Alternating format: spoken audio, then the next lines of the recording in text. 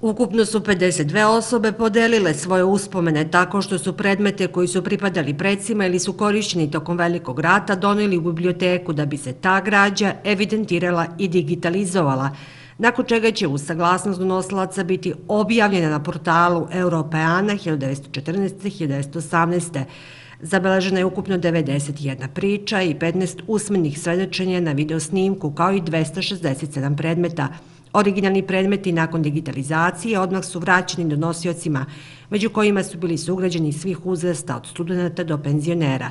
Zahvaljujući mobilizaciji sećanja, bibliotekari, stručna javnost i svi korisnici interneta saznali su do sada neobjavljene podatke i činjenice priče vezane za Prvoj rat.